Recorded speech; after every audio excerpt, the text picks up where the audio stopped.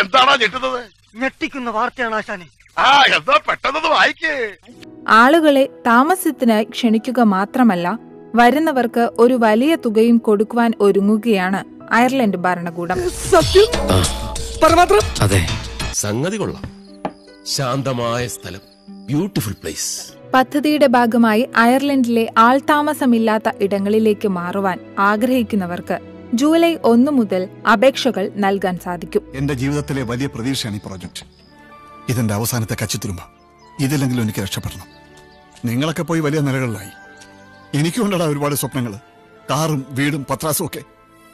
ഒന്നുകിൽ ഞാനിത് പിടിച്ചു കയറും. രക്ഷപ്പെടും. ഇല്ലെങ്കിൽ ഇതോടെ ഞാൻ ഇവിടെ ഇല്ലാതാകും.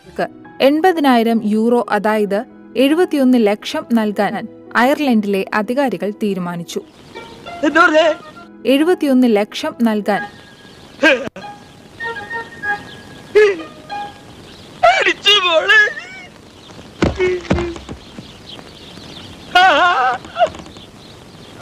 മിക്കവാറും ഞങ്ങൾ അടുത്ത ആഴ്ച സിംഗപ്പൂരിലേക്ക് പോവാണ്. എവിടെ?